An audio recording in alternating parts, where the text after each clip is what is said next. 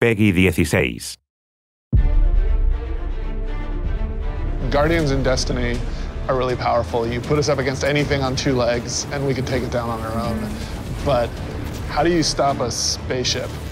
The Red Legion has boarded the Almighty. They're blowing up all the controls, and they're setting it on a collision course for the Lost City. Rasputin stands with the Guardians, but what's he gonna do when an impending threat comes? Is he willing to like really put it up on the line for humanity? Is he willing to step up when we need him?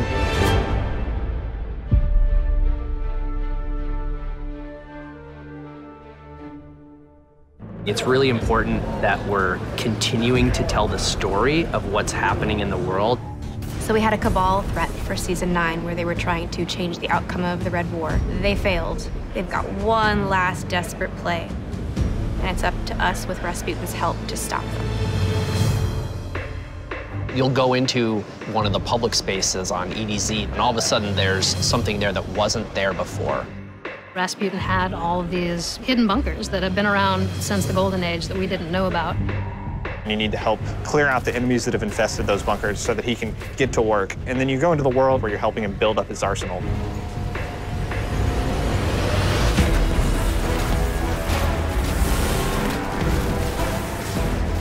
The new seasonal activity is Seraph Tower, which is about powering up Rasputin and setting up its orbital defense network.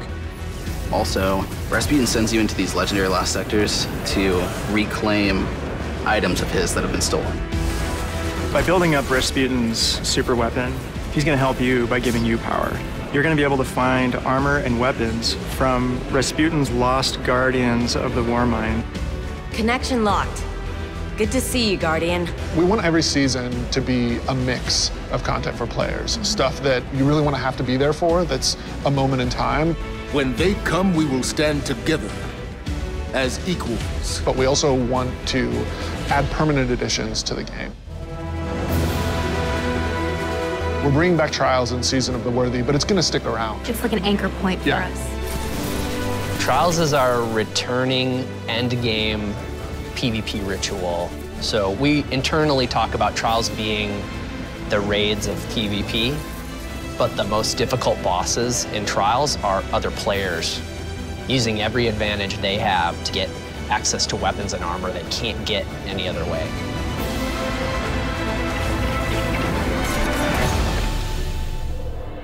This season, the artifact mods focus on close range weapons, so SMGs and sidearms are all going to get a lot of screen time. Swords are a lot more potent. There's a lot more flexibility with them.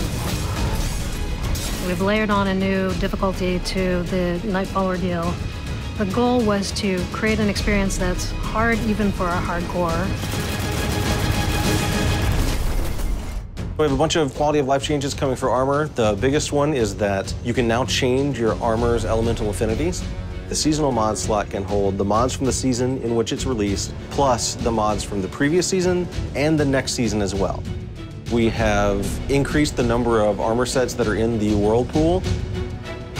We've got some cool new weapons. Tommy's Uh, Tommy's Matchbook is all about being a wild gangster jumping in and spraying bullets haphazardly at your own risk. And the best part is, every time you get a kill, you get to say, keep the change, you filthy animal.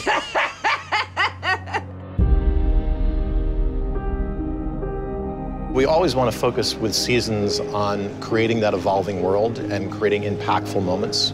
We have our own plans for where we're taking the story and where we want to take Destiny. We also are always listening to our players and what they want. And your actions, the actions of other characters that you care about, they matter and change the world. And you're going to want to be there and see that happen.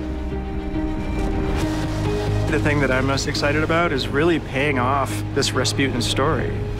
We have a lot of open threads throughout Destiny's history, and we want to tie up some of the loose ends that we've left behind. And Season of the Worthy is another step forward in the overall story of Destiny.